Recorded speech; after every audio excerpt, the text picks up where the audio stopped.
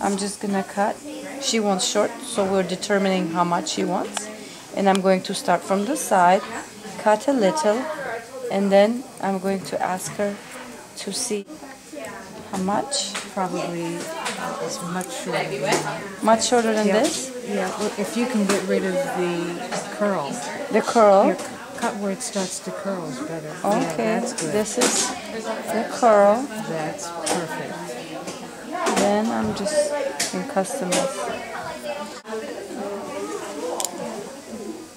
So this is this length is good. Yeah.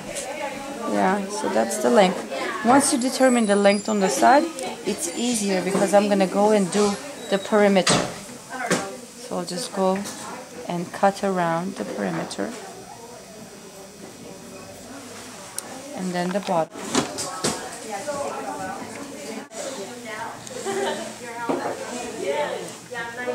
So what I'm doing is following her hairline.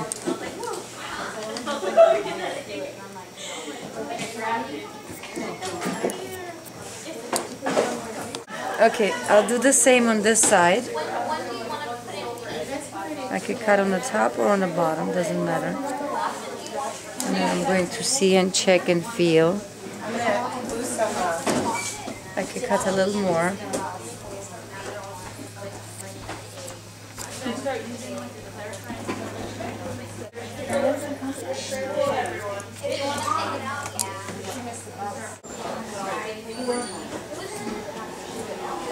Then I could go down behind the ear.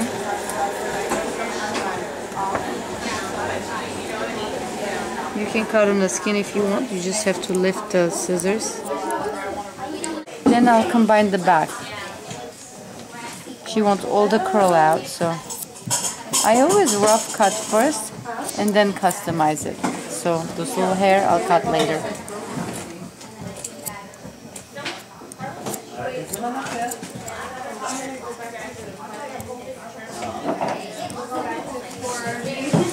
And then we got those little hairs right there.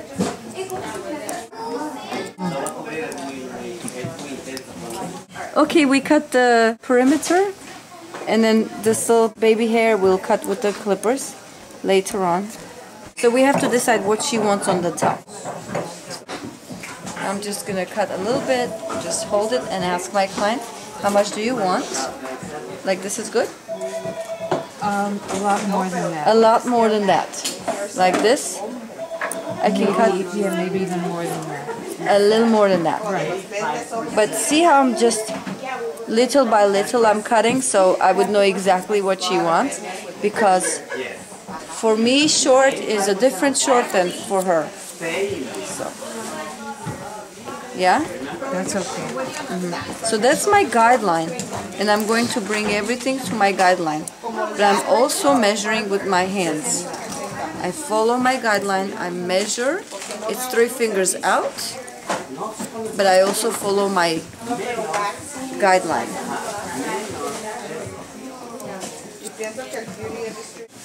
So this is my guide still. It's three fingers out of the scalp. So here, here it is. And three fingers straight out of the scalp. So actually I have two different guides to follow. My fingers and that guide.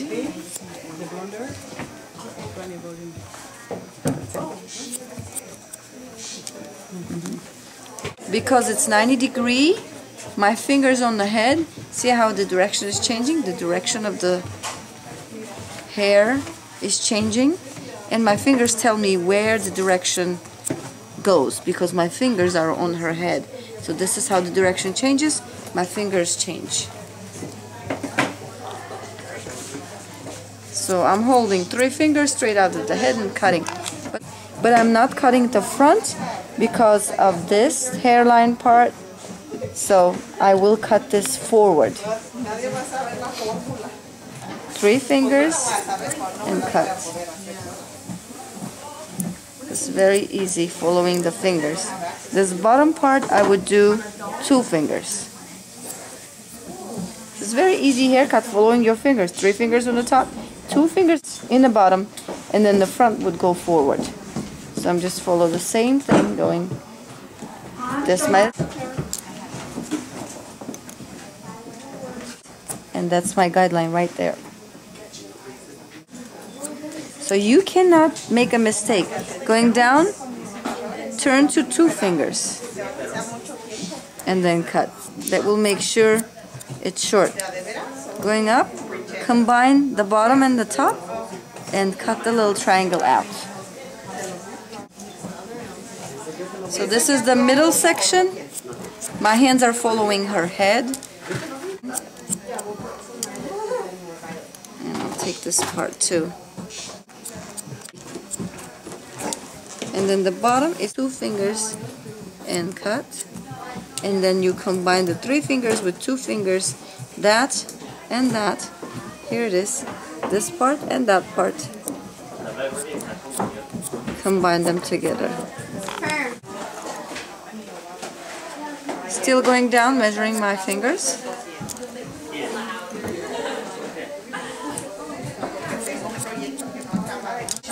The bottom. But you can also do scissor over comb. Like for me, it's tough to put my hands in there. I can I have my guideline right there. I can bring this down and I can cut scissor over comb. There's my guideline and I'm cutting. I could do an angle guideline again. There's my guideline right there. Once it disappears, I cut. I could do the same in here. So I got the whole thing. And then I'm going to measure, measure out, and then if anything is protruding, I would cut. So you would measure with the scissor over comb. See how I'm bending? I'm bending my comb.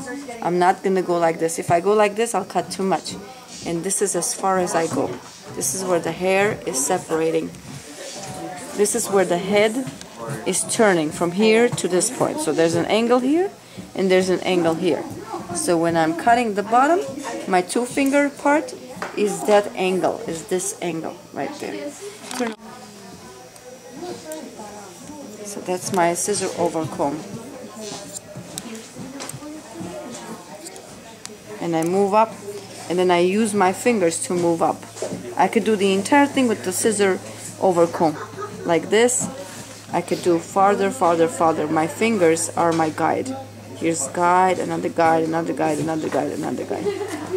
So almost done with the bottom.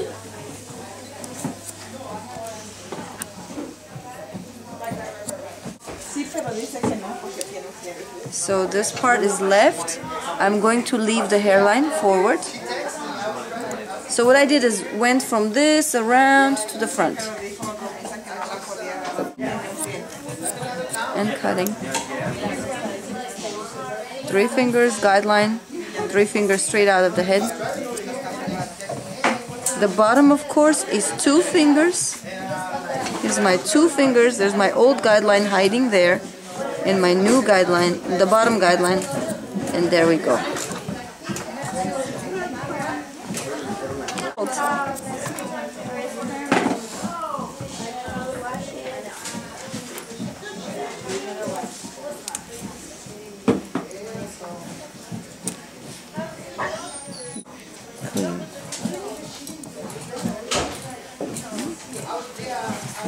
Now once we're done with this, we're going to do the front, the receding hairline.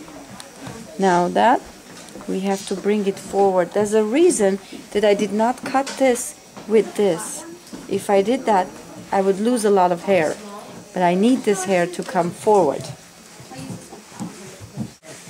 So I'm cutting because I'm bringing this receding hairline hair forward and this forward and then I would cut. And I'll cut on her close to her brow area. And if she wants shorter I will cut shorter too. But now I'm just gonna go like this. And this curls curves. So it's better longer than very short. And this hair I'm not gonna touch too much of that hair because I need this hair to cover here and here. This part You like this part as as long as this, or you want shorter? Um, I'm gonna leave it up to your expertise. Because your hair is uh, curly Yes. and it's gonna shrink. And if I cut this too short, it's gonna shrink too short. Okay. Since the other side was much shorter, I'm gonna cut a little bit more. Here's the guide, here's the old guide and the new guide. So I just combine them together. And then you can bring it forward if anything's protruding, you can cut.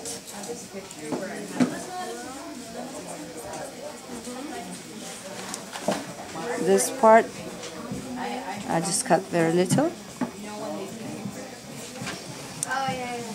And then I'm going to check everything. When I check my haircut, I always check the top.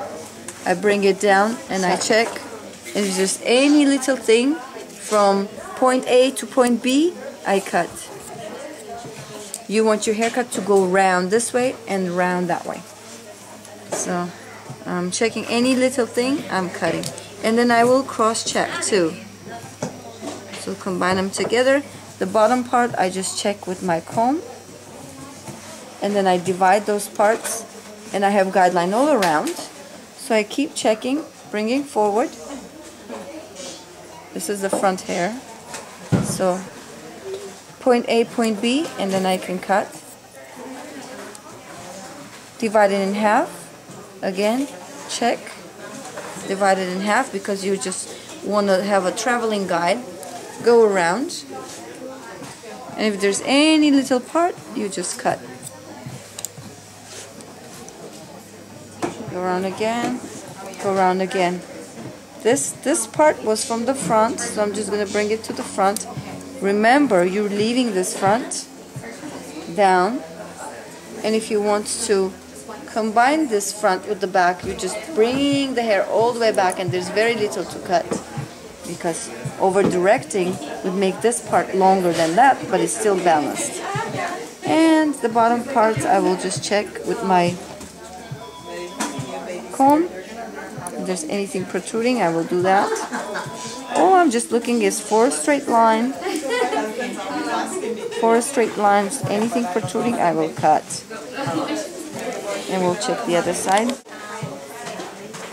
This is the front hair. And this part, there's a little part that I need to cut. And then it's always good to check diagonally, vertically, different different directions. And my two fingers, see, my two fingers out because it's around the hairline, and I'm checking. And she's done. Those are the peanut clippers. I like them because they're light, work good. You just cut down.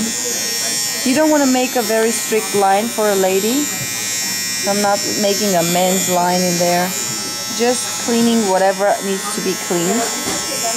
If there's anything like this protruding, you could just lightly clean.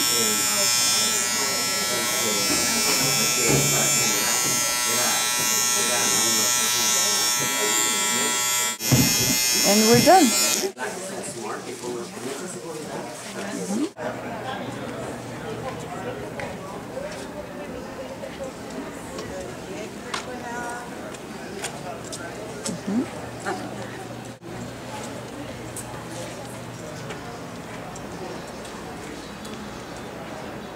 We did not style the haircut. It's just the way it is.